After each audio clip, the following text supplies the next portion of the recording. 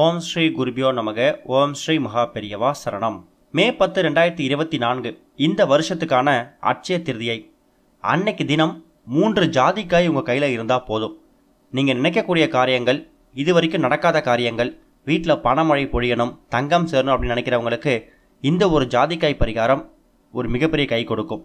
பொதுவாகவே ஜாதிக்காய் அப்படிங்கிறது பணவசியத்துக்கும் ஜனவசியத்துக்கும் பயன்படுத்தக்கூடிய ஒரு அற்புதமான பொருள். இந்த ஒரு ஜாதிக்காயோட மகிமையை பற்றி மகா பெரியவா மாதிரி பல ஆண்டோர்கள் பல விஷயங்கள் சொல்லி வச்சு தான் போயிருக்காங்க. மருத்துவமும் மகத்துவமும் நிறைந்த ஒரு அற்புதமான பொருள் தான் இந்த ஜாதிக்காய்.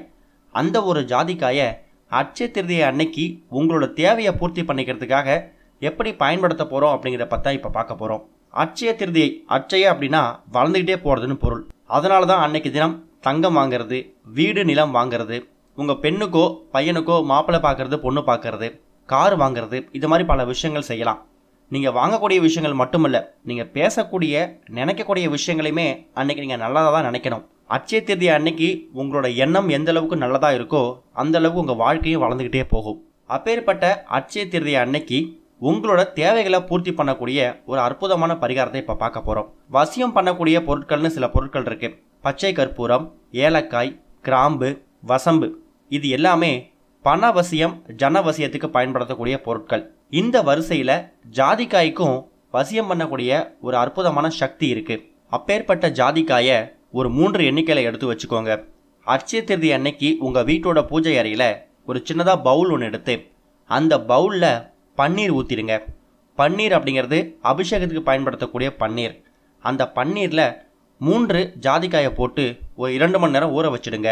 பொதுவாகவே பன்னீர் அப்படிங்கிறது வீட்டில் இருக்கக்கூடிய நெகட்டிவ் வைப்ரேஷனை போக்கும். வீடு ஃபுல்லாக நீங்கள் பன்னீரை தெளிச்சிங்கன்னா ஒரு தெய்வீக தன்மை ஏற்படும்.